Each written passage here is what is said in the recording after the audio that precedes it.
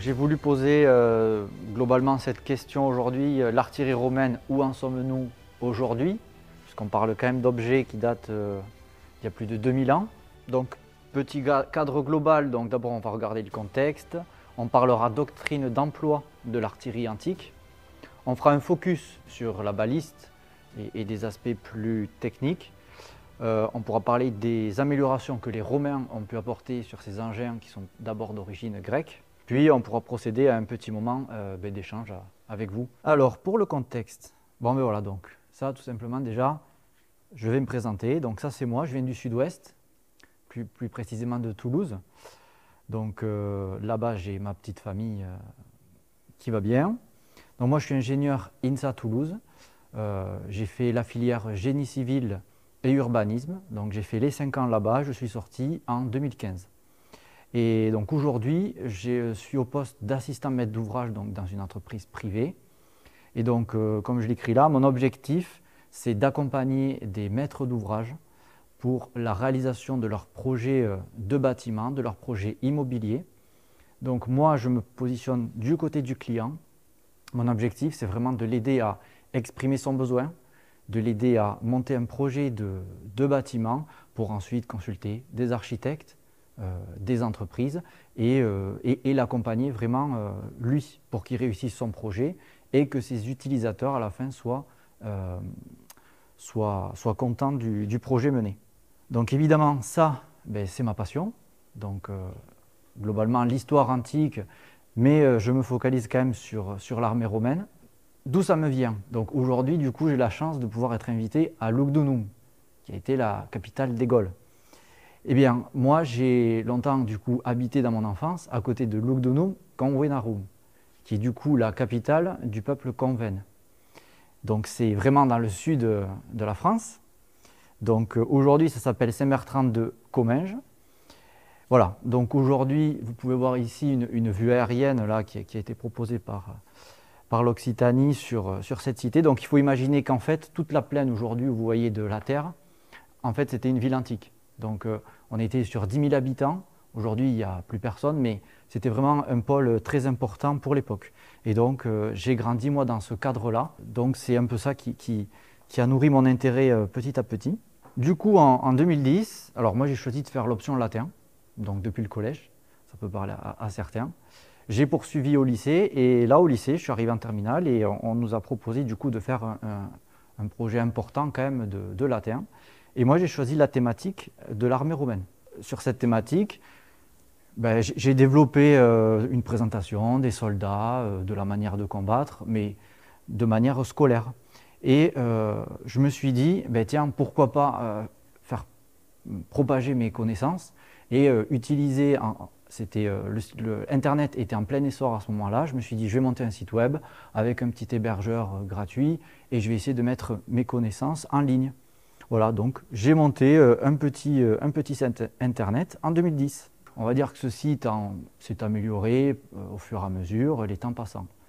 Bon, ma vie se poursuivant, il, reste un peu en dormance. Voilà. En 2020, on connaît tous les épisodes de Covid-19 qui font que on est resté un peu plus souvent chez soi, on s'est mis à se poser des questions. Il y avait peut-être des projets qui étaient un peu en latence, et eh c'était peut-être le moment d'y replonger dedans. Donc j'avais déjà un peu cette idée qui commençait à germer de me dire tiens, il faut que j'essaie de le mettre à jour parce qu'en 2020, en 2020, on est tous en train de regarder son téléphone et plus l'ordinateur. Mon site n'était plus à jour. Peut-être qu'il y a eu des nouvelles connaissances aussi dans les recherches archéologiques et, historiques, euh, à regarder. Donc j'ai refondé mon site. Euh, j'en ai profité aussi pour, euh, pour créer une page Facebook. Et de fil en aiguille, finalement, cette page Facebook m'a permis après d'entrer en contact avec vous aujourd'hui. Pour venir vers vous, pour vous dire que en fait, pendant ce temps-là, j'ai connu quand même une période de, doute un peu, parce que moi, je me présente devant vous, je ne suis ni historien ni archéologue. Je suis juste euh, passionné d'histoire, et, du coup, j'essaie dans, ma méthode ben, d'appuyer ce que je vais vous dire, et, ce que, voilà, par une, par une démarche en fait. Donc après, c'est pour ça que je, mets cette, ce warning. C'est pour ça que j'invite toujours euh, les gens ensuite à, se poser les questions que quand ils reçoivent de l'information, d'aller pouvoir la vérifier, de la mettre en doute, ou voilà, en tout cas de, regarder la démarche qui a été mise en place pour vous donner cette info. Moi, par exemple, sur mon site, au début, je vous présentais ça. Ça, c'était une organisation type de l'armée romaine. Et en fait, mais ça est resté en ligne un certain nombre d'années. Et puis, en relisant des sources, d'autres textes, je me suis rendu compte que c'était faux, cette manière de représenter, qui était beaucoup trop simplifiée. Parce qu'on a simplifié, on a voulu euh, euh, raccourcir le, discours pour le rendre euh, accessible, mais en réalité, on a perdu beaucoup d'informations. Voilà, puisqu'en fait, l'idée est de dire que la cohorte n'existe pas avant la réforme de Marius, donc ça, vous pourrez le regarder sur le site internet. Le manipule n'existe plus après la réforme de Marius, donc il y a eu des, voilà, des, décisions comme ça, et les distinctions de soldats non plus. Donc grosso modo, j'alerte sur mon site en disant que je vous ai présenté quelque chose. Aujourd'hui, les connaissances ont évolué, elles sont différentes. Par exemple, je me suis rendu compte tout simplement qu'un casque romain, eh en réalité, le casque, il ne se porte pas seul. Moi, je n'avais pas cette info. Et en fait, les soldats portaient une calotte qui leur permettait de se protéger et ensuite d'enfiler leur casque. C'est des petits trucs comme ça. Et euh, de fil en aiguille, donc reposer, euh, reposer question de tout ce contenu, j'en suis venu à me dire, ben, attends, catapulte, baliste, scorpion, onagre, est-ce que tous ces mots, finalement, on sait très bien euh, à quoi ça correspond? Et donc, voilà, donc on va le voir après par la suite. Et par exemple, on continue à chercher de l'info, on se dit, ben, dans un musée, on peut être censé trouver une info fiable. Eh bien, en me promenant sur Internet, j'ai trouvé par exemple cette reconstitution d'une baliste que j'appellerai nouvelle, qui est en cadre de fer. Eh bien, en fait, si vous vous rendez compte, la reconstitution, pour moi, elle, n'est pas viable, parce que vous regarderez que les deux éléments de, gauche et de droite sont disposés de la même manière. Or, vu que vous avez les bras qui, font soit, enfin, qui sont asymétriques, cette configuration ne peut pas euh, mécaniquement fonctionner. Donc, il aurait fallu, c'est la question ensuite qu'on posera, enfin, en tout cas, il faut qu'il soit euh, en miroir que ça fonctionne. Voilà. Donc même une reconstitution peut poser problème. Bon, après, j'ai repris confiance, puisque je me suis dit que si on reprend les bases, si on travaille et qu'on adopte une démarche rigoureuse, à un moment donné, le travail finira par payer. Donc, on reprend espoir et puis on avance. Voilà. Donc ça, c'était mon petit parcours. Donc du coup, je vais parler doctrine d'emploi de, de l'artillerie antique quand même, je vais vous présenter donc. Du coup, pour faire tout ça, j'ai utilisé un corpus de textes qui se base sur des auteurs antiques, puisque le but c'est quand même de remonter à la source, parce que l'Empire romain ça dure 1000 ans. Donc même un auteur antique qui vous écrit en 200 après Jésus-Christ, il a quand même 3 ans ou 400 ans d'écart avec euh, certains sujets. Donc il faut toujours l'avoir en tête ça. Donc quelques auteurs euh, assez, assez courants que vous pourrez euh, lire que ce soit, on a la chance d'avoir Internet, donc d'accéder très facilement aux textes latins et à leur traduction.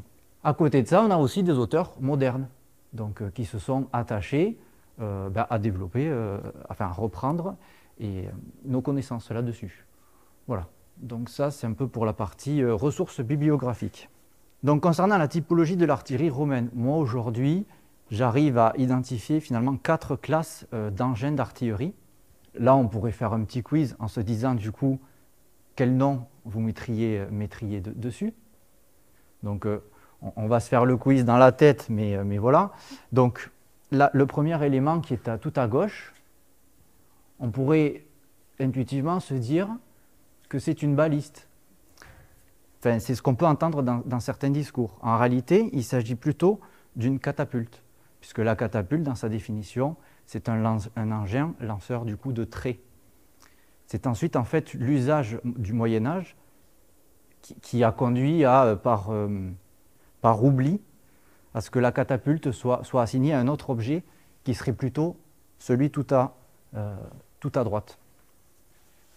Donc la baliste, qui est l'objet qu'aujourd'hui vous êtes en train de, de, recréer, qui se trouve ici et qui est plutôt donc un engin lanceur de, de boulets, on verra qu'elle peut lancer aussi autre chose que des boulets. Elle peut lancer des, objets plutôt encombrants, comme des poutres, par exemple, de bois ou de fer. Parce qu'elle en a la force. Donc un objet euh, qu'on ne sait pas forcément, qui peut brouiller les pistes. Parce qu'en fait, je vous ai dit, la catapulte, elle lance des traits. Mais moi, je me suis dit, il y a aussi une baliste qui est celle-ci, que les gens appellent, Manu Balista ou Caro Balista, vous verrez un peu plus tard. Or, elle lance des carreaux, et du coup, il y a un problème. Bon, on verra après pourquoi elle s'appelle baliste, mais du coup, nous, et c'est en lisant une thèse euh, qui a été faite, on l'appellerait la baliste nouvelle, qui a été vraiment inventée par les Romains. Et c'est pour ça qu'elle brouille les pistes. Et ensuite, il y a l'onagre. Donc l'onagre, c'est ce que, hérité du Moyen Âge, on pourrait appeler la catapulte, mais en réalité, c'est un onagre. Puisqu'en fait, onagre, ça vient de onager, qui est euh, l'âne sauvage. Et quand un âne fait des ruades, il, se secoue comme ça. Donc c'est le même mouvement que fait cette machine lorsqu'elle va lancer ses, boulets. Voilà. Donc je vous donne euh, des caractéristiques globales pour chaque engin. Donc ça, après, on peut le balayer rapidement, mais globalement, il faut retenir que l'objet des engins, quand même, c'est d'envoyer le boulet ou la flèche avant de pouvoir être atteint par l'ennemi. Donc, classiquement, on, est quand même dans les textes sur des portées qui peuvent aller jusqu'à 300-400 mètres de distance. Après, il y a quand même des portées qu'on appelle du coup optimales. Ce sont les portées courantes d'usage où on est sûr euh, de la précision et de l'efficacité de l'objet. Concernant les catapultes, vous savez, je vous ai parlé de scorpion. Mais en fait, le scorpion est un calibre de catapulte. Ce serait le, plus petit calibre de catapulte. Le scorpion avec son dard, de manière imagée. Donc la catapulte, on est plutôt effectivement sur un tir droit, tir tendu. On peut avoir du tir parabolique, mais ce n'est pas son atout principal. On est sur deux bras, on appelle euh, cette configuration, elle sera eutitone. On verra par la suite euh, la différence avec palentone. Voilà. Donc c'est une arme qu'on appelle arme antipersonnelle, puisque son objectif, ça va être de viser un soldat. Donc effectivement, attention, elle n'est pas adaptée pour l'attaque de fortification. On est bien sur une arme antipersonnelle. A l'inverse, on a donc la baliste qui va venir compléter euh, les outils à disposition de l'armée. Donc elle, elle va être sur des boulets qui vont aller de 500 grammes à 78 kg. C'est ce qu'on trouve quand même dans les textes. Donc c'est quand même impressionnant pour aller jeter 78 kg. Les balistes, vous aurez plusieurs calibres, la petite baliste, la moyenne baliste et la baliste géante, qu'on retrouvera euh, dans les sièges euh, de villes fortifiées. On est toujours sur un système de deux bras, eutitone, palentone, c'est là où les deux configurations ont coexisté et ont aussi contribué un peu à, amener des confusions. Donc cette fois-ci, c'est une arme qui est antipersonnelle parce que lancer un boulet sur un soldat euh, et un groupe de soldats fera des dégâts, mais elle est aussi anti-machine puisqu'elle va pouvoir détruire euh, des, béliers de siège, euh, des tours, voilà, des crénelages. Alors attention, on n'est pas encore sur des trébuchets ou, des canons où on est capable, avec ces machines, pour, à mon sens, et de ce que j'en lis, de détruire, de détruire et de créer des brèches. Pour créer des brèches, on utilise le bélier, on utilise le tunnel de sape, on utilise d'autres choses. Euh, on est plus là pour aller créer des, points de, faiblesse. Euh, et il faut pas. Alors j'en parlerai après. Donc, on a ensuite la baliste nouvelle, qui du coup, ben, en fait, l'amélioration romaine de la catapulte. Sauf que ça devient une baliste qui va être. Euh, il y aura plusieurs modèles. Donc, un modèle léger qui va être portatif, presque comme un fusil en fait, pour, pour le soldat un modèle moyen, et ils ont même inventé du coup un modèle lourd qui pourra être monté sur un char. Donc ça va amener beaucoup de, mobilité, sachant qu'avec le cadre métallique, elle deviendra légère, donc mobile. Et en même temps, elle pourra gagner beaucoup plus de puissance dans son tir. Donc on est sur une arme antipersonnelle. Et enfin, on termine avec l'onagre, qui est une machine qui va apparaître plus tardivement, euh, vers la fin de l'Empire romain, euh, qui va être une machine beaucoup plus simple. Là, cette fois-ci, c'est un seul bras avec un effet de, euh, de, lancer parabolique, euh, bras unique. Voilà. Et on est toujours donc sur une arme anti-machine, arme de destruction de bâtiments, puisque sur cet onagre, on pourra vraiment mettre de, grosses pierres. Donc, il y a un aspect quand même sur l'ensemble de ces machines qu'on ne parle pas là, mais pensez que tout ceci, il y a aussi un aspect à prendre en compte, c'est l'aspect moral. Euh, toutes ces machines, leur but, c'est aussi d'infliger moralement à l'ennemi euh, un coup. Parce que quand vous allez avoir 40 euh, balistes qui vont se présenter devant vous et vous envoyer des boulets, des traits qui vont siffler qui vont toujours vous harasser, il faut toujours prendre en compte cette dimension morale dans les effets de, ces armes. Donc les domaines d'emploi. Donc on va pouvoir les retrouver pour l'attaque des places, la défense des places, les batailles terrestres et les batailles navales. Donc finalement sur tous les théâtres d'opération. Pour l'attaque des places, l'assiégeant va disposer du coup ben, de ces différents moyens pour soit, donc on le dit, attaquer euh, les murailles, les crénelages, les hommes en poste, attaquer du coup les pièces d'artillerie qui seraient en mode défense, l'objectif étant de couvrir ses propres troupes qui sont en train d'avancer. De l'autre côté, le défenseur peut lui aussi disposer de pièces d'artillerie pour sa défense. Donc là, on va quand même être sur des modèles plutôt euh, plus petits qui vont pouvoir être montés euh, sur les tours, dans les tours, tirer à travers les meurtrières, pour pouvoir ben, tout simplement freiner, casser la progression euh, de l'assiégeant. Ça va être pour détruire des galeries couvertes, détruire ben, des, tours d'assaut qui arrivent, essayer de détruire aussi ben, les armes, les artilleries de l'assiégeant. Donc c'est vraiment un jeu comme ça.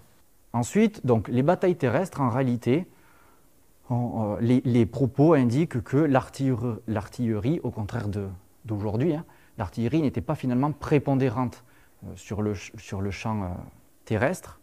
Elle avait plus plutôt un effet psychologique. Pourquoi? Parce que l'artillerie, en fait, est une pièce qui est plutôt statique. Donc il faut imaginer que si vous l'installez, pendant la bataille, vous avez intérêt à la protéger. Sinon, vous allez rapidement la perdre par un coup détourné d'une cavalerie euh, voilà. Et c'est ça le, vrai problème, c'est la défense de ces pièces qui sont quand même euh, coûteuses pour une armée, enfin précieuses même. Donc soit on les retrouve postées parce qu'il y a une défense naturelle, un surplomb qui permet. Ensuite, on peut les retrouver, donc là ça va permettre de faire la transition à la partie bataille navale, en fait, ces pièces-là peuvent permettre, de, au niveau de passage de pont, de passage à guet, elles peuvent permettre d'apporter un feu, un soutien-feu, pour que empêcher soit une armée de traverser un pont, ou au contraire euh, couvrir ses troupes pendant la traversée du pont ou du passage à guet. On est plus euh, voilà, sur cet aspect de euh, traverser un goulot d'étranglement. Sur l'aspect bataille navale, donc là, on va retrouver une seule, globalement, c'est une seule baliste ou catapulte par navire, parce qu'à un moment donné, c'est aussi un engin qui a un poids, il faut aussi penser à amener les munitions sur le bateau. Donc, vous ne pouvez pas charger le bateau. Donc, ces engins ne sont pas là pour détruire des bateaux. Ils vont encore une fois être là pour amener un, coup moral, euh, dégrader les bateaux, puisque qu'est-ce qu'on faisait à l'époque pour casser un bateau? En fait, on les perronnait, tout simplement. D'accord? Donc, ça peut servir à détruire. Les catapultes, on pouvait les équiper d'un grappin pour pouvoir envoyer le grappin sur le navire et ensuite euh, créer un abordage. Vous voyez? Donc ça peut permettre ça. Un petit aspect aussi qui peut être anecdotique, souvent pour renforcer la flotte de guerre qui était euh, certifiée, on pouvait prendre des petits bateaux de commerce, de pêcheurs, on leur mettait une petite baliste et ça permettait d'amener aussi un soutien-feu euh, à la flotte. Un petit focus sur la, sur la baliste romaine. Donc il faut se dire que finalement toutes ces machines, au-delà des balistes, que je vous présente, ce sont des machines qui font partie de la famille des tormenta. Pourquoi donc? Tormenta, c'est le pluriel de tormentum qui est relatif à un câble. Donc moi je vais vous lire la définition qui serait que c'est un terme latin employé dans le domaine militaire, puisque ça peut être employé dans le domaine civil, mais en l'occurrence militaire, pour désigner l'ensemble des machines de guerre basées sur la technologie du ressort de torsion. Dans ce type de machine, la puissance de G s'obtient par la mise en tension par torsion de faisceaux de cordage. Puisque l'autre technologie, c'est le ressort par tension. C'est ce qu'on connaît classiquement sur un arc, où la tension du bois amène euh, l'énergie de G. Mais là, on ne va pas tendre les bras, ce qu'on va tendre, c'est le cordage qui va se tordre du coup. Et donc, on est sur ce, sur ce type de moteur en fait. Donc, point intéressant, c'est que pour créer ce ressort de torsion, il faut que du coup les fibres aient une caractéristique élastique, de résistance, euh, résistante et durable. Donc le bois, lui, il va être solide pour encaisser toute cette force, mais ce n'est pas lui qui doit être flexible. ce sont bien les euh, fibres. Donc deux moyens d'y parvenir. Et Ronde Alexandrie, lui, il va vous proposer deux recettes euh, pour y parvenir, donc dans son traité. Donc, on peut utiliser les tendons d'animaux, donc cou de taureau, pattes de cerf, dos et épaules, donc les tendons venant des dos et des épaules de tous les autres animaux. Mais attention, vous ne pourrez pas utiliser de tendons venant du porc parce qu'en fait, ils ne sont pas de bonne qualité. Voilà, donc ça c'est la petite astuce. On parlera dans ce cas de machines neurotones, puisque neuro venant de la, euh, donnant nerf et tonne tension. D'accord? Donc euh, voilà. Ensuite, il se peut aussi, on a retrouvé, enfin des écrits l'indiquent, qu'on puisse utiliser du crin de cheval ou des cheveux de, femmes, puisque à l'époque, les femmes avaient quand même, mais comme aujourd'hui, mais le soin euh, de leur chevelure, très huilée, très, euh, très entretenue, qui faisait que malgré tout, ils trouvaient euh, des atouts à utiliser la chevelure féminine. Il faut notamment prendre en compte que pendant un siège, donc les assiégeants, les assiégés, pardon, ne peuvent pas se fournir à l'extérieur en ressources. Donc, les ressorts s'usant, il faut à un moment donné remplacer ces cordages. Et donc, ça constitue une ressource possible lorsqu'on est en état de, manque. Voilà, donc on serait sur des machines tricot-tonne, pour tricot, cheveux, tonne, tension. Petit sujet sur le module, puisque l'objectif de, toute machine, c'est qu'ensuite, euh, voilà, on va concevoir des plans, on va donner des dimensions, et l'objectif, c'est que facilement, on puisse maintenant les construire partout lorsque l'armée se déplace. Elle va construire sur site, elle va trouver les matériaux, euh, peut-être qu'elle emportera déjà des pièces déjà préfabriquées de, certaines, mais elle ne peut pas tout porter.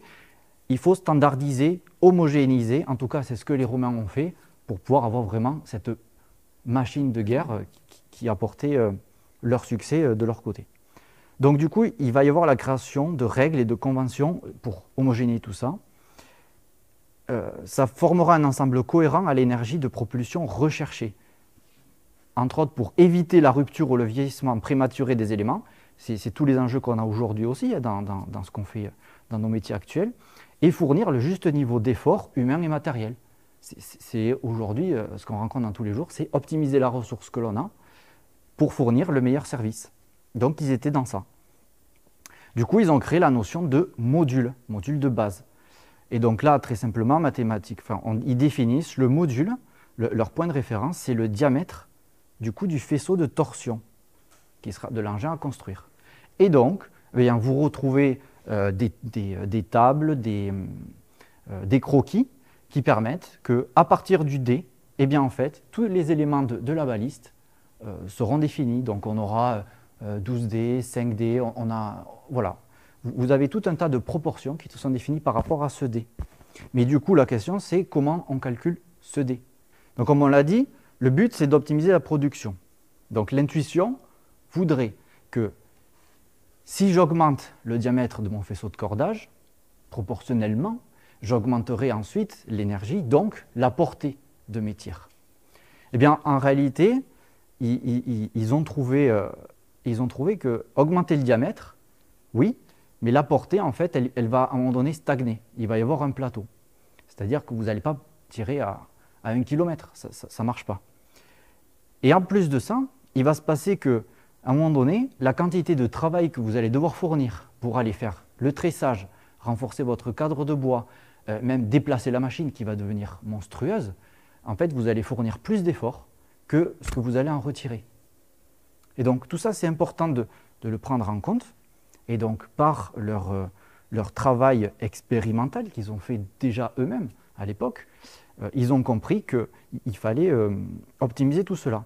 Donc on rajoutera deux éléments qui sont qu'en temps de guerre, un usage optimisé des ressources disponibles constitue un avantage certain. Parce que là, on n'a pas le choix de gâcher les ressources, parce que sinon, parce que de toute façon, on n'a plus le choix, on n'en a plus.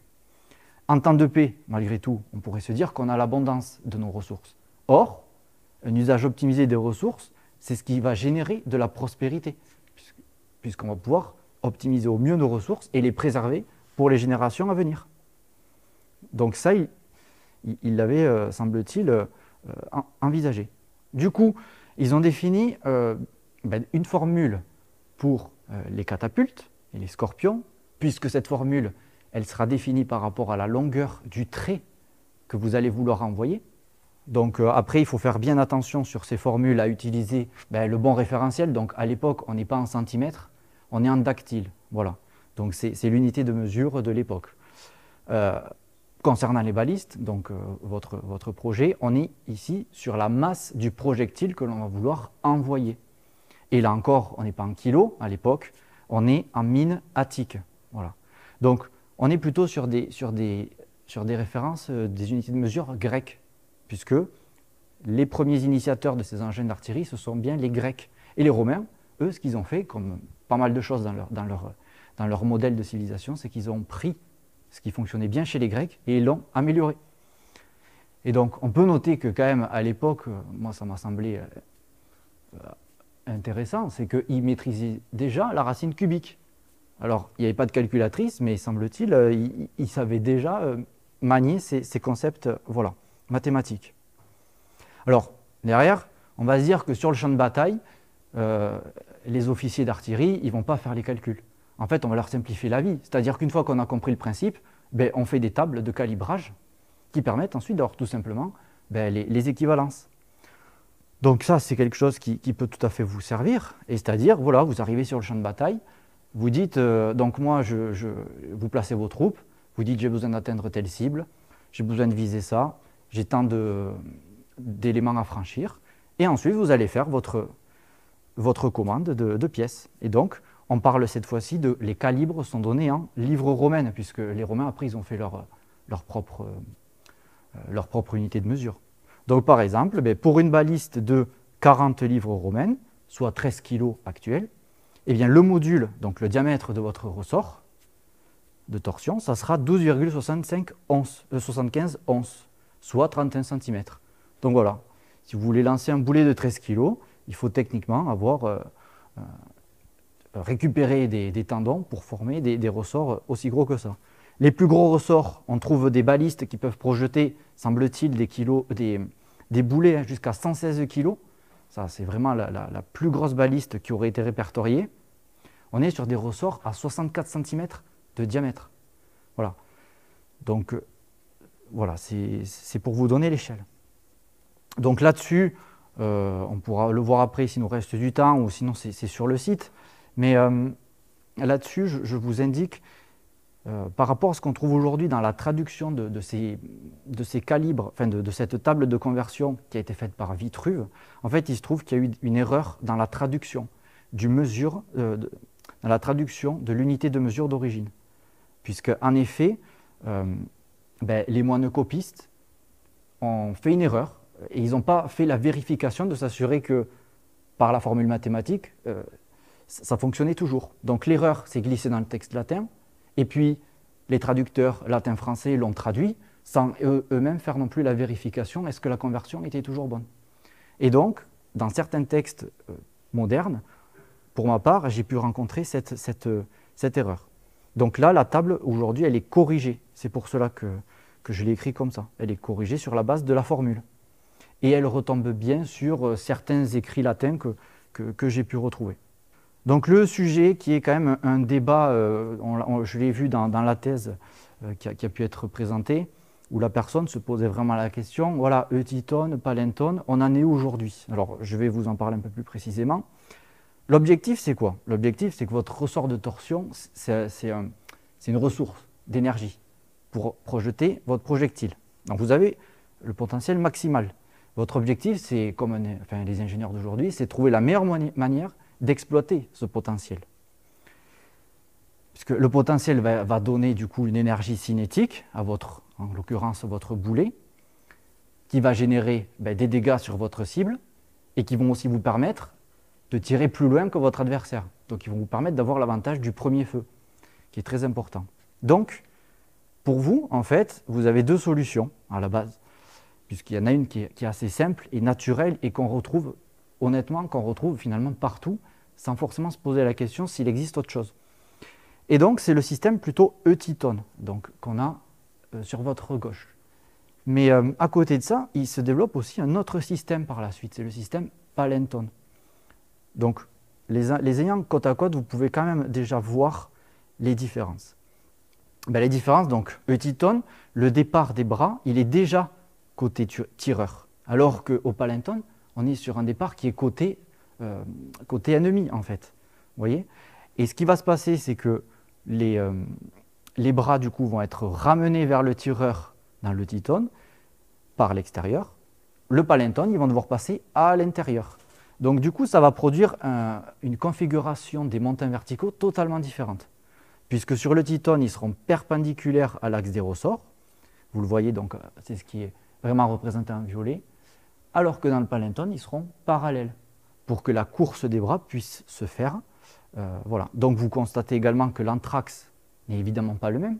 On a un anthrax minimal sur le titone, mais de toute façon, on a besoin de lancer que des traits. Donc c'est très fin. A l'inverse, sur le palenton, on a besoin de lancer plutôt des boulets qui peuvent devenir très gros, et on doit pouvoir aussi, à la limite, lancer des poutres ou des objets un peu euh, non conventionnels. Donc ça, ça offre davantage euh, sur ce point. Derrière, on doit reconnaître à le Titon quand même sa facilité de construction. Il faut se dire qu'à l'époque, le but c'est aussi de produire, produire. C'est compact, puisqu'il faut penser que ça, ça doit aller dans les tours. Dans les tours de défense, on n'a pas une place illimitée. Ça doit aller sur les tours de siège, ça doit aller. Voilà, donc c'est bien. Mais par contre, attention, c'est un potentiel quand même qui, est limité, puisque la course de vos bras, elle est réduite par rapport à un modèle Palenton où là, la course, elle va être vraiment euh, très développée. Et plus la course est importante, plus on va pouvoir fournir euh, d'énergie au projectile. C'est ça qu'il faut voir. Euh, donc voilà les, deux choses importantes. Comment, donc dans une étude qui a, été menée là, par cette équipe de recherche, ben, ils se sont dit, OK, le débat est là, mettons en place euh, une expérience pour avoir des chiffres. Du coup, ils ont construit ben, trois modèles. Le Titon, le Palenton, ils ont fait un modèle un peu intermédiaire pour essayer de trouver la réponse. Parce que l'autre débat sur le Palenton, c'était est-ce que les bras, ils étaient vraiment devant et ils se rabattaient derrière? Ou est-ce qu'en fait, ils étaient... Euh, enfin, vous voyez, euh, l'image, je ne vais pas vous le faire, mais voilà, la question, elle est aussi là, même s'il y a l'écartement. Du coup, ils ont fait l'expérimentation. Et donc, vous avez aujourd'hui là les, résultats en termes de force de projection et de vitesse d'éjection. Voilà, donc vous, avez les chiffres en, lecture. Ce qui est important de, voir du coup en, conclusion, c'est que le Palenton, ben, on se rend compte qu'il fournit une vitesse d'éjection deux fois plus grande que le Titan. Du coup, l'énergie cinétique, par la formule, ben, c'est x4. Et donc, ça apparaît vraiment être à, cette étude-là, la meilleure configuration pour projeter du coup des boulets. Puisque les boulets, par rapport à une flèche qui a peu d'inertie à mettre en jeu et qui va être facilement euh, euh, envoyée, le boulet, vous devez arriver à lui transmettre toute cette énergie cinétique pour que lui puisse ensuite faire des dégâts. Donc c'est pour ça que la configuration Palenton aujourd'hui s'impose à être celle qui définit la baliste. Et vous allez voir ensuite euh, euh, ce que ça va amener dans la compréhension de la baliste nouvelle. Donc les Romains, comme je vous ai dit, ils prennent les choses qui fonctionnent bien et ils les améliorent. Donc du coup, ils se sont dit, ah, j'ai quand même, sur la technologie grecque à un moment donné, c'est pour ça qu'ils ont pris quand même la domination de tous les territoires grecs, c'est qu'ils ont fait mieux. Euh, donc manque de puissance, complexité de fabrication, le démontage et la réutilisation difficile pour les grandes pièces, donc finalement, vous avez dépensé des ressources, mais vous devez les laisser sur place parce que vous ne pouvez pas les transporter. Le point d'attention sur les faisceaux de fibres, qui sont malgré tout fragiles, l'encombrement des engins et le manque de mobilité. À côté de ça, ben, l'Empire s'étend. Euh, on a des cités, malgré tout, aussi euh, en face qui se préparent mieux, qui se défendent mieux, et qui sont capables de tenir des sièges encore plus longs. On a une expansion donc euh, fulgurante du monde, romain, qu'il va falloir aussi euh, gérer, puisqu'on a des menaces permanentes aux frontières et on a des difficultés de recrutement. Donc tout ça, ça nécessite forcément de gagner en efficacité. Sinon, on ne pourra pas faire face à, tous ces enjeux. Donc on va dire que moi j'ai appelé ça bon, saison 1 euh, pour les besoins de la présentation. Mais globalement, ils ont pris la catapulte et ils se sont dit, je vais l'améliorer. Donc à Tout à gauche, vous avez le format catapulte grec. Vous avez, deux montants. Les Romains ont dit, alors ça c'est Vitruve qui nous présente ça dans, ses textes, hein, qui nous fait un petit état des lieux. Ils vont renforcer le cadre central. Vous voyez vraiment que là, vraiment, on est, le passage du trait, il est vraiment optimisé juste pour faire passer la flèche. Hein. Donc, euh, et, en bas, l'autre rectangle, ben, c'est la, la rampe de tir. Quoi. Donc, on renforce vraiment le cadre pour gagner un maximum de, mise en, tension de tous ces éléments. On va courber les bras, puisqu'on a vu que le, le, E-Titon est quand même limité en course. On ne peut pas faire autrement. Donc, on va gagner de la, de la course en courbant les bras. Donc, ça fait toujours la différence. Si vous avez un petit avantage de plus sur votre adversaire à la guerre, petit à petit, c'est ce qui va faire la différence. Ils vont rajouter un blindage frontal qui va permettre ben, de, protéger, de protéger les tireurs, mais de protéger aussi les ressorts. Parce que si vous tapez dans les ressorts de torsion qui sont en pleine tension, il faudrait faire le test à la fin. Vous, voilà. Je ne sais pas ce que ça donnerait. Euh, et ensuite, ils ont aussi amélioré les barils oblongs. Parce qu'ils se sont dit, mais en fait, quand je fais le tour de, euh, ma, clavette. Mais le problème, c'est que je perds une certaine place dans mes fibres, puisqu'elle est occupée par la clavette. Du coup, ils vont créer une sorte d'entonnoir dans, le format du, trou pour pouvoir finalement venir récupérer la place perdue. Et donc mettre le nombre de fibres qui était initialement demandé par la formule mathématique. Donc toujours pareil, pour aller chercher la petite optimisation qui va faire la différence en termes de puissance. Il explique que, enfin, des, chercheurs expliquent que bon, ces optimisations sont réservées à la catapulte, qui est un engin beaucoup, enfin, mieux adapté pour ces optimisations. La baliste, c'est quand même un engin plus, comme on dirait, de bourrin pour envoyer du boulet. Euh, on ne cherche pas la précision du, tir pour aller précisément euh, toucher quelque chose. On est sur une, plutôt euh, une zone de chute. Donc on est plus sur des barilliers euh, plutôt classiques. Et puis vu que ce sont des engins déjà assez massifs, la différence se fait peu. Mais sur la partie euh, catapulte, c'est vraiment de, très bonnes optimisations. Il y a une deuxième saison d'optimisation puisqu'ils continuent de, progresser. Donc là, ils, ont abandonné le cadre de bois et ils sont passés au cadre de fer. Donc là, on retrouve l'image que je vous ai présentée tout à l'heure. J'ai simplement fait une manip et du coup, par rapport aux propos que, j'ai pu lire, ben, j'ai retourné le, montant de gauche pour se retrouver avec les bras qui pourront venir en buter par devant et rentrer par l'intérieur euh, côté tireur. Donc on retrouve ça. On retrouve le blindage. Alors vous allez me dire, maintenant, mince, cette fois-ci, on ne protège plus le tireur. Bon, ben, on ne protège plus le tireur, mais l'important, en fait, c'est de protéger les ressorts, parce qu'un tireur, malgré tout, ben, ça se remplace. Euh, le ressort, c'est beaucoup plus difficile. Il faut aussi penser qu'on peut faire la guerre euh, sous la pluie, par tous les temps, donc il faut quand même continuer à protéger cet élément. On a du coup ben, la généralisation du concept de Palenton.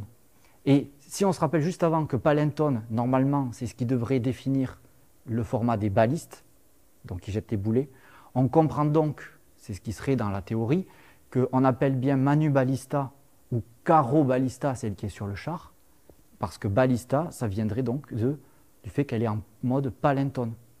Même si aujourd'hui, elle projette des traits, des carreaux. Voilà, euh, voilà d'où ça viendrait. Donc après, euh, voilà. Donc ça, on arrive du coup, ben, pour moi, à, la fin, qui est qu'on arrive à ce moment-là, on est vers le deuxième siècle après Jésus-Christ, on est à l'apogée de la technologie romaine en termes d'artillerie. Ils disposent maintenant d'un engin Compact, résistant, puissant, manœuvrable, résilient, démontable, transportable. Ils peuvent avoir toute la série de pièces à disposition. Un cadre en fer, c'est beaucoup plus simple à, monter que tout le cadre en bois avec les tenons et tout, ce que ben, vous devez vivre hein, euh, quand vous faites les transports euh, d'un site à l'autre. Donc cette révolution technologique, elle va euh, enfin, de ce que je peux lire quand même, bouleverser la doctrine de l'artillerie romaine et préfigure déjà l'avènement de notre artillerie romaine. Puisque grâce à ça, les Romains vont maintenant, ce que je vous avais dit tout à l'heure sur le champ de bataille, ils vont à, cette époque-là disposer d'un engin qu'ils vont pouvoir vraiment utiliser à leur soutien, qui va pouvoir se déplacer et venir soutenir les troupes. Puisque euh, on a des troupes qui sont éparpillées aux quatre coins de l'Empire, moins de monde, donc il faut le soutien un peu mécanique pour pouvoir un peu combler cette, faiblesse. On a l'historien Martienne qui dira euh, que les Romains possèdent alors la plus puissante artillerie à trait du monde antique. Et finalement, quand on regarde un peu de loin, il faudra attendre en fait l'avènement des canons à poudre euh, beaucoup plus tardivement pour retrouver là une arme capable de décimer les rangs ennemis euh, avec cette efficacité. avec cette efficacité. Voilà. Donc, écoutez, ça c'est ce qui permet de, finir en, apogée exactement sur, sur cette conférence. Et euh, donc moi, je voudrais remercier euh, l'école centrale Lyon de m'avoir accueilli ici. Mais bien sûr, je remercie Olivier qui a pris contact avec moi euh, pour me permettre ben, de vous partager ma passion. C'est ce qui est important. Bertrand ou également, qui fait partie de l'équipe centrale. Et, bien sûr, ben, l'équipe baliste qui, est ici présente et qui mène son projet euh, comme il le faut, ça, euh, je, l'ai vu. Et euh, bah, Guillaume Binot qui nous fait la, petite production audiovisuelle avec son cadreur Arnaud. Et ben voilà, je vous remercie tous pour votre présence.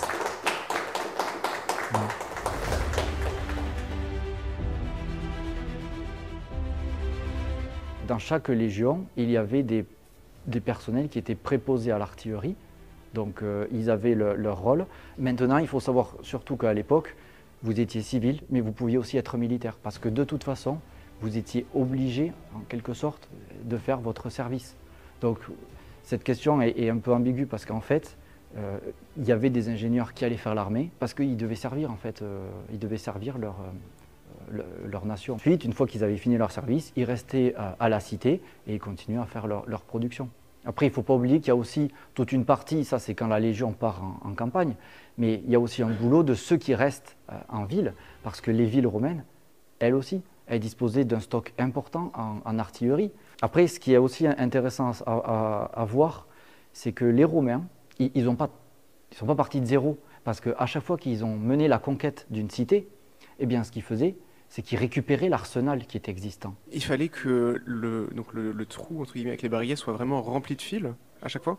Et c'est exactement ça. Parce qu'en fait, c'est vrai que sur votre euh, reconstitution, vous faites un équivalent avec, euh, du, avec de la corde de tennis.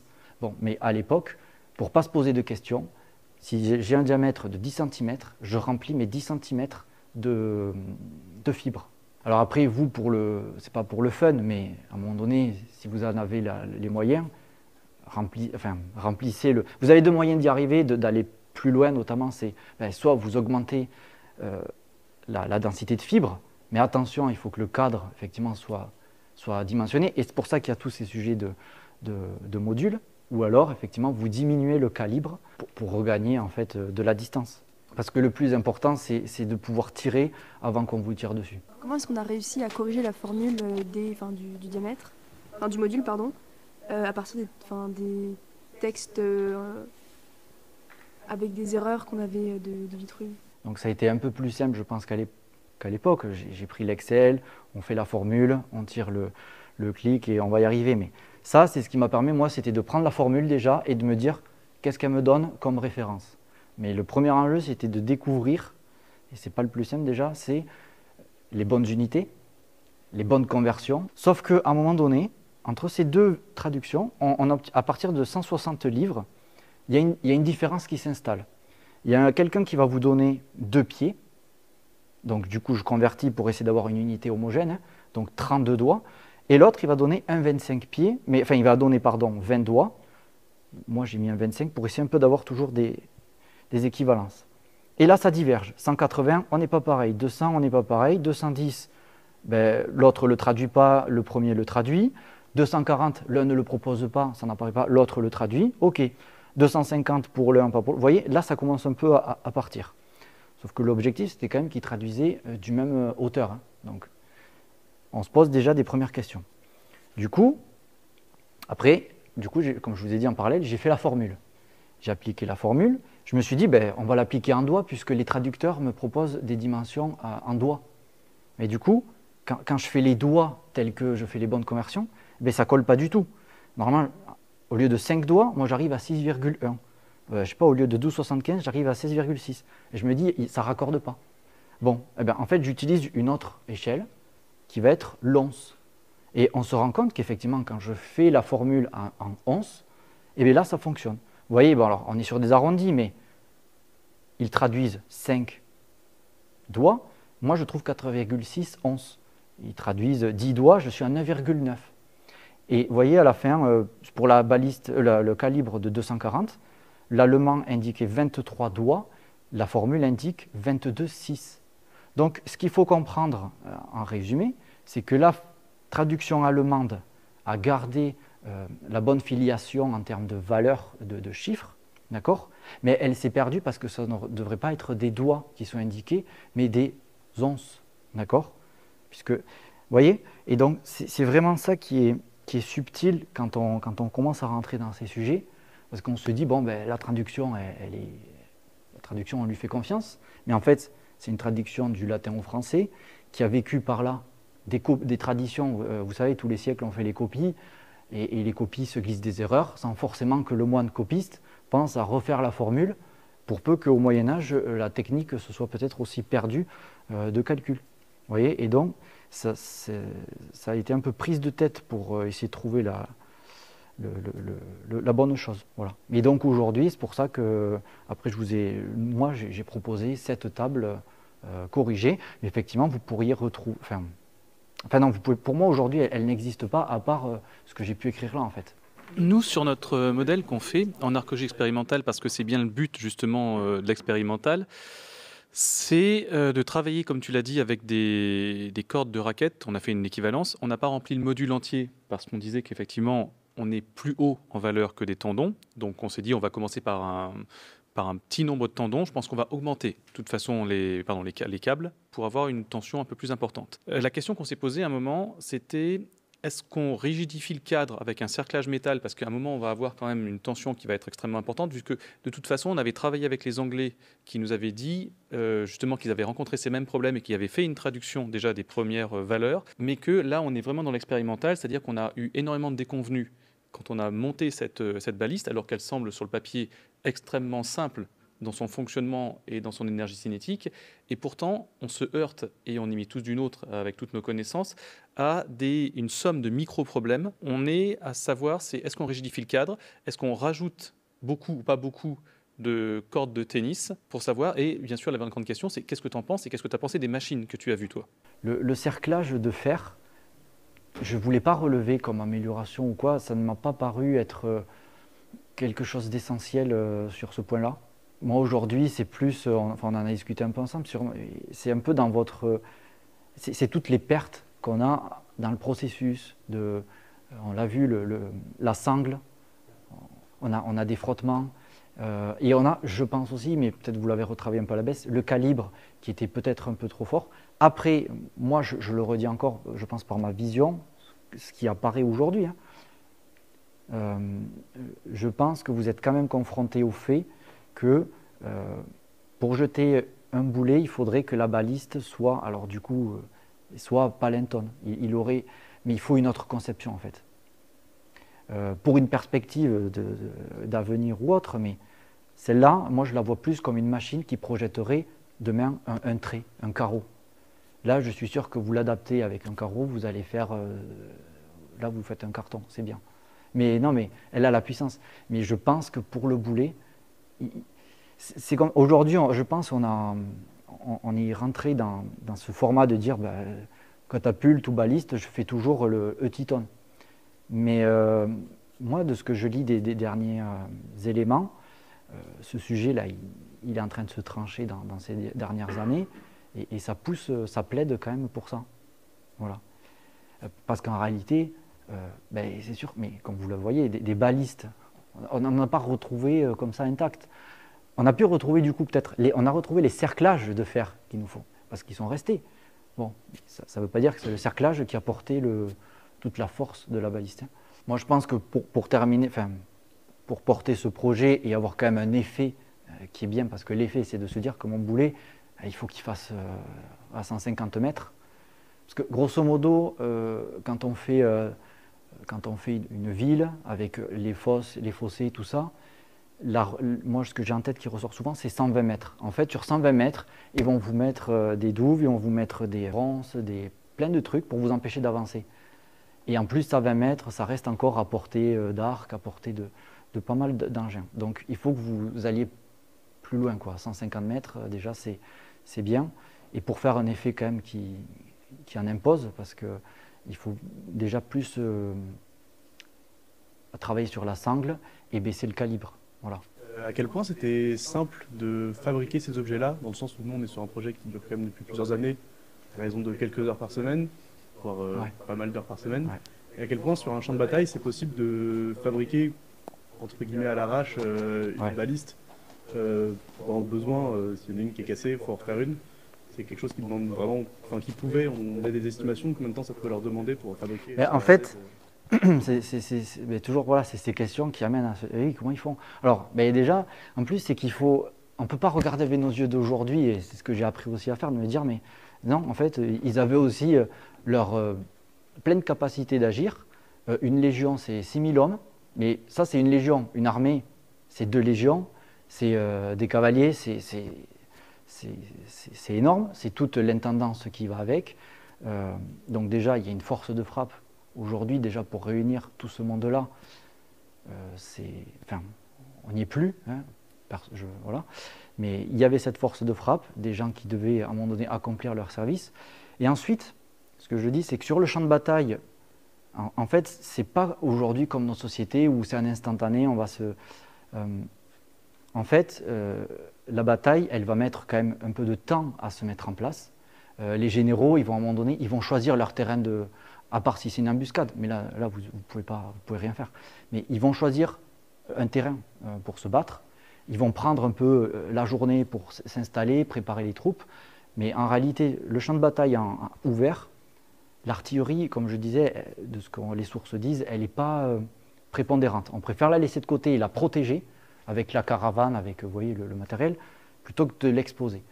Et quand on passe en mode pour aller conquérir une cité, Là, un siège, ça va durer, ça peut durer euh, un mois, six mois. Donc, première chose que vous allez faire, vous allez empêcher les gens de sortir, et vous, avez, vous les empêchez de sortir. Euh, César était le spécialiste, euh, il construisait une, il construisait deux, comme ça il était tranquille. Tout autour, il envoyait ben, ses légionnaires couper des arbres, faire ce qu'il y avait à faire en fait. Et donc, il faut vraiment se dire que, d'une part, ils avaient quand même le temps de s'y mettre, mais ils ont surtout, vous êtes un petit groupe, mais ils ont une force de frappe. Et, l'homme, quand il est en groupe, euh, quand vous prenez les récits de César pour faire euh, l'encerclement d'Alésia, il y en a beaucoup qui doutent que ça soit faisable en si peu de temps et tout, mais euh, il, y a, des experts qui sont en train de, faire des cadences et de se dire est-ce qu'on peut y arriver? Oui, en fait, mais parce qu'on est tous ensemble et, ça fonctionne. Et puis ils ont, là, ils ont eu l'habitude. Hein. C'est ce qu'on a vu quand on a eu Gustave Raymond qui est venu pour l'année dernière. Donc pour tailler la, rampe de lancement à la hache, c'est-à-dire à la dolia anciennement, donc la hache pratique. Et surtout, ce qu'il faut bien imaginer aussi dans le monde antique, c'est effectivement, ils sont très nombreux, mais surtout, ils savent être charpentiers, menuisiers, forgerons. C'est-à-dire qu'il y a un grand nombre d'artisans qui sont là et qui travaillent extrêmement vite. Vous pouvez regarder sur Internet d'ailleurs les performances, euh, par exemple au ciseau à bois pour creuser une, mortaise, c'est très très rapide. Et ce que j'ai, alors maintenant il y a une question qu'on se pose, c'est est-ce que j'ai comme, comme connaissance, c'est que tout ce qui est le gros œuvre, c'est-à-dire la grosse structure de la baliste, ils, prennent du bois jeune et ils taillent dedans, ils construisent sur site. Et ce que j'avais comme connaissance là aussi, c'est qu'ils embarquaient les systèmes, donc justement les modules, sur charrette. Parfois, quand ça cassait, il devait l'air tressé, mais il transporte les trucs. Et j'avais entendu parler de, coffre, de coffre-fort aussi euh, sur des charrettes, exprès pour les petits modules qui sont plaqués métal, justement parce que c'est extrêmement cher et c'est rare. Après, on se pose la question aussi du nombre de balistes sur une légion. Hein, on va dire par exemple, euh, enfin sur une légion, ouais, sur 6000 hommes, on, est, on, a, on a des chiffres variables. Moi, j'ai du 40-70 machines de guerre. Donc j'imagine bien qu'ils ne vont pas traînasser 40-70 machines de guerre déjà qui traînassent une armée. Il faut toujours remettre en perspective parce que euh, le monde romain, c'est quand même 1000 ans d'amplitude. Euh, mais si on parle sur plutôt euh, la, fin, quand on a vraiment une armée professionnelle, une armée de métier qui se déplace avec tous les engins, on est plutôt sur une armée qui se déplace fonctionnellement avec de la, baliste nouvelle ou de la catapulte, donc plutôt de l'engin de trait, pour être toujours à pouvoir attaquer l'ennemi rapidement. Et après, on a plus l'aspect baliste, qui est plutôt en mode détaché, en modèle, enfin en pièce détachée. Et ensuite, quand on se met en position pour aller assiéger une cité, on la construit.